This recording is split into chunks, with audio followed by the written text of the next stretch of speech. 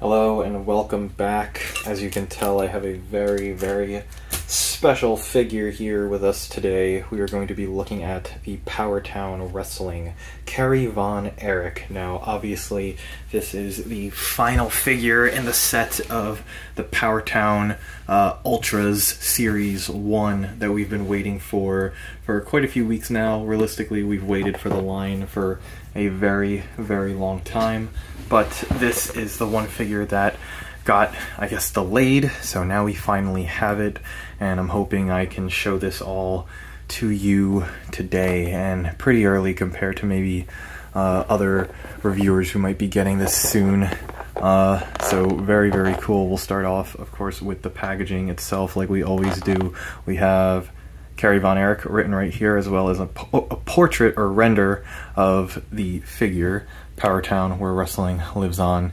Adult collectible, ages 18 and up. World Class Wrestling Association World Heavyweight Championship belt included. Obviously, an amazing accessory that we're getting.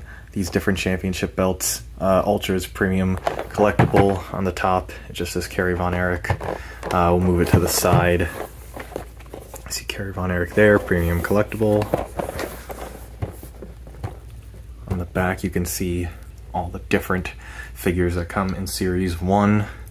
And of course, uh, as you can imagine, um, I don't believe you can get these guys anymore uh, outside of the pre-order that they had going on. So very, very cool packaging as always. We'll open up the flap to read the little description here. Let's just get it to focus and then as one of the most electric wrestlers of the late 70s, 80s, and early 90s, Kerry Von Erich is best known for his time in the NWA uh, Big Time in NWA Big Time Wrestling, World Class Championship Wrestling, and the World World Wrestling Federation. Uh, a second generation member of the Von Erich family, Kerry was the fourth son of Fritz Von Erich, a wrestler, promoter, and territory owner. Standing 6 foot 3, 260 pounds, Kerry had a powerful, agile presence that was best seen while delivering strong punches to his opponents or felt when locking them into the Iron Claw. Of course, the iconic Iron Claw, he has the pose going on there. Kerry may be best remembered for his work with the Von Erich family during their historic feud against the Fabulous Freebirds. Kerry also had a long standing rivalry with Ric Flair, which weaved its way through multiple territories, including a historic match on May 6, 1984, when Kerry defeated Flair for the NWA Heavyweight title at the David Von Erich Memorial Parade of Champions. Kerry Von Erich wrestled with tragedy outside the ring, although the wrestling world felt his loss too soon, the lasting impact on of Kerry Von Erich lives on forever in professional wrestling. Again, another amazing write-up, and if you are a hardcore wrestling fan, you very much know about the Von Erichs and their family and what they've been through, uh, all the tragedies that occurred. So, of course, may Kerry Von Erich and the rest of the Von Erichs rest in peace. And of course, we're going to open up this figure.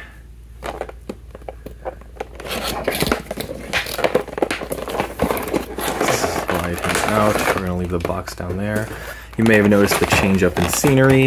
If you did not know, I'm kind of between houses at the moment. Uh, so you might end up seeing different places occasionally. But here he is in the tray, very beautiful. Again, I love these trays because you can pop off the top tray, which I don't believe Mattels can have. There's probably some tape holding it down.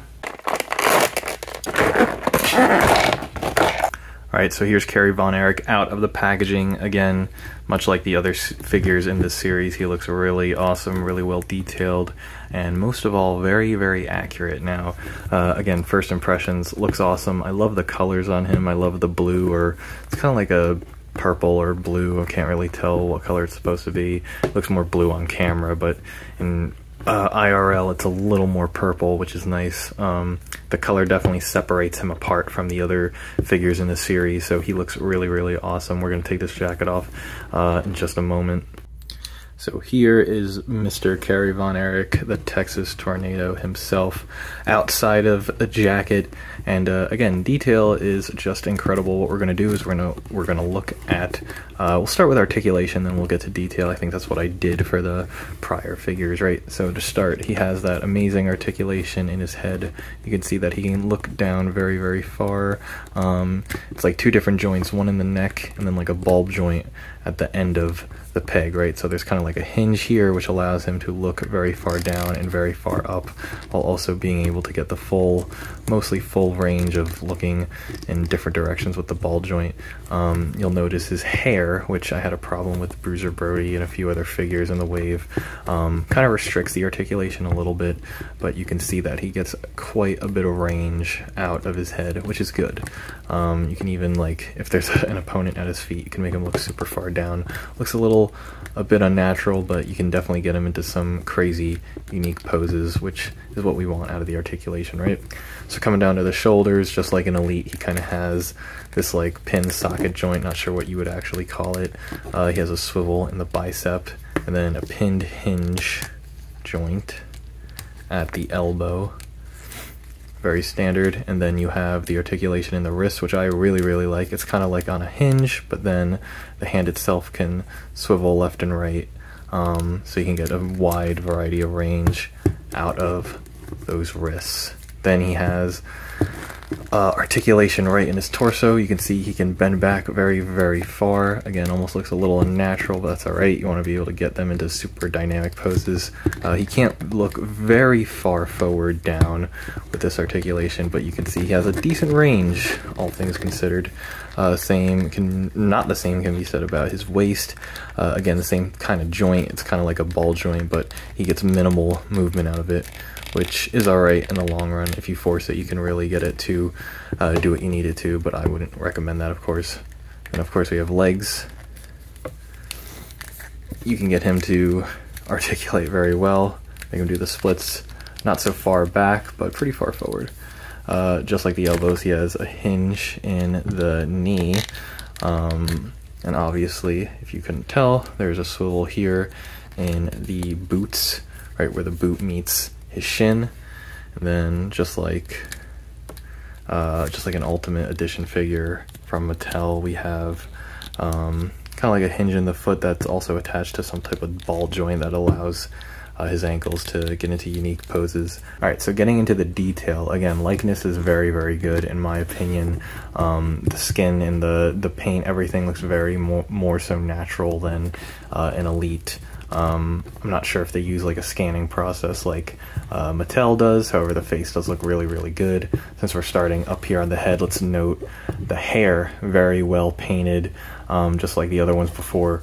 It's very um, like multi-layered. There's a lot of, I guess, like dry brushing going on. Some type of uh, details going on here that you wouldn't find in Elites um, or Mattel figures. The hair is uh, not just one flat color. It's very well detailed um, which I think looks very, very awesome, very, very natural. Uh, just like all the other figures in this series, the musculature is done uh, very, very well. You can even see some veins popping in and out.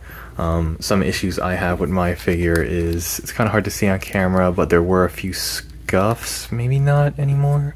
Maybe it wasn't like a scuff, maybe it was just part of the uh, paint or whatever coming off of the jacket, but there were a couple like scuffs that I think I was able to remove just by rubbing them down. So honestly, uh, not many imperfections on this guy, which is great. Um, again, you can look at the sculpt work, very, very nice. Um, again, the trunks, which again might be reused, I have to take a closer look with him and the other figures, but the trunks are not just a solid blue, there is some type of brushwork going on in there, uh, giving it a more detailed look, and again, the sculpting is great on it. Um, same can be said about the lower half of his body, great musculature, of course. And then the details on the boots are very, very good. You can see he has this kind of like lightning bolt effect going on. Very, very cool. Now jumping down to the accessories, we have his jacket here, which honestly looks incredible. Again, I'm never a big fan of these solid rubber, it's not solid, but these uh, rubber pieces we get with wrestling figures, especially from the Powertown figures, just because they they're not really great for posability. But aside from that, they are great little pieces for sure. Um, the detail on them is incredible. Uh, again, much like the hair we had mentioned before, this isn't just like a straight purple or blue color. There's actual detail put into it, which looks great, um, especially around like the um, I don't know term uh, clothes terminology, right? Clothing terminology, but right around like the collar and right around the wrist area, you can see that there is a lot of detail put in from the sculpt and the paint to make this look really, really nice. Um, the white lines are very solid and not messy at all. Looks very good, and then you can see Von Erich uh, country right there with uh, Texas and the rose little rosebud. Super, super cool, super awesome. Um, again, I'm probably not going to display him in this just because I rather get him into more uh, unique poses. Then, of course, he comes with one fisted hand.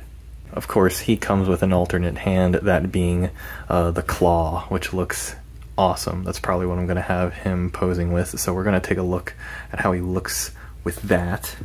All right, now here's Kerry Von Erich with the claw hand attached. Now, I gotta say, it looks awesome on its own, of course, but the articulation in the upper body, specifically the shoulders and in the arms, are so limited that he can't hold his other arm with this hand. But um, it's okay. Or he can't hold this arm with his uh, opposite hand, right? Um, again, it's it's not the biggest deal, but I kind of wish he was able to.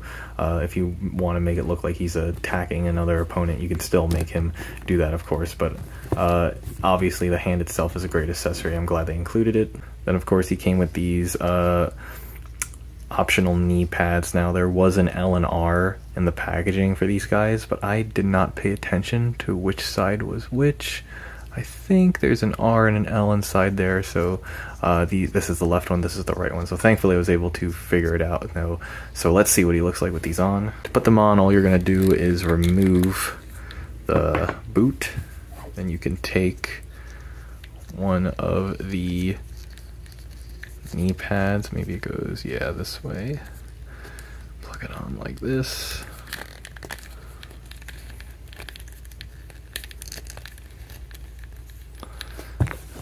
Take his boot, place it back on, just like that. So this is how he looks with them on. I'm obviously going to keep them on. I think that looks really, really nice. It also kind of covers up the articulation quite a bit, so definitely enjoy that a lot. Now, of course, it is time for the standout uh, accessory, that being the championship belt. This might be my favorite belt so far. You can see World Wrestling Champion written right there. Super well done. I love the reflective plates. I love the how they're gold. I love how again how thin these belts are.